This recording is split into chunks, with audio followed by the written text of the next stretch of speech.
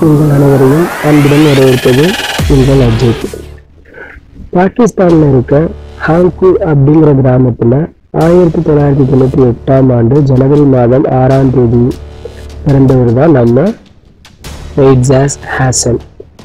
அதே ஊர்ல இருக்க இப்ராஹிம் ஜாய் ஹை ஸ்கூல்ல நைன்த் ஸ்டாண்டர்ட் படிச்சுட்டு இருக்க சின்ன பையன் தான் நம்ம எய்ட்ஸாஸ் படிப்புல மட்டும் இல்லாம எல்லா எக்ஸ்ட்ரா கரிக்குலர் ஆக்டிவிட்டீஸ்லையும் சிறந்து விளங்கிய எய்ட்ஸாஸ் தனது பிறந்த நாட்டுக்காக எதையாவது சாதிக்கணும் அப்படிங்கிற வெறியோட தன்னோட பள்ளி படிப்பை தொடங்குறாரு.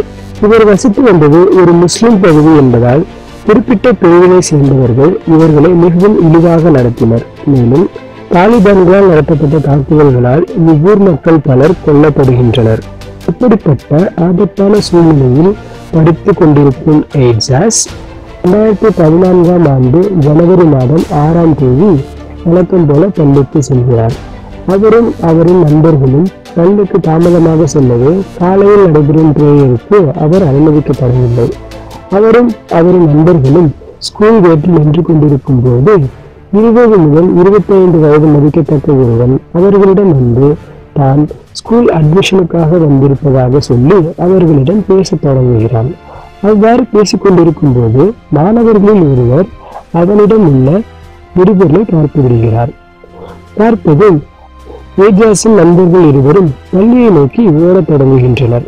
ஆனால் ஏஜாஸ் மற்றும் அந்த தீவிரவாதியை அங்கேயே தடுத்து நிறுத்த முயற்சிக்கிறார். ஆனால் தீவிரவாதி வேகமாக பள்ளியை நோக்கி நடக்கத் தொடங்குகிறார். தீவிரவாதியை தடுத்து நிறுத்த கல்லை தூக்கி அவன் மீது எறிகிறார் ஆனால் கல் அவன் மீது படவில்லை.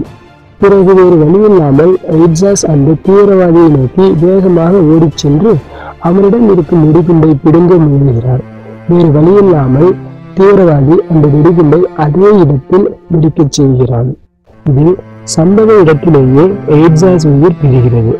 ஒருவேளை எய்ட்ஸாஸ் அந்த தீவிரவாதியை தடுக்காமல் இருந்திருந்தால் அந்த பள்ளியில் படித்துக் கொண்டிருந்த நூற்றுக்கணக்கான மாணவர்கள் இறக்க நேரிட்டிருக்கும். ஸோ நாம் அனைவரும் ஏஜாஸ் போன்று தன் நாட்டிற்காக நாட்டுப்பற்றுடன் வாழ வேண்டும் என்று கூறிக்கொண்டு இந்த வீடியோவை பொறுமையாக பார்க்க அனைவருக்கும் நன்றி கூறி விடைபெறுவது உங்கள் அஜித்.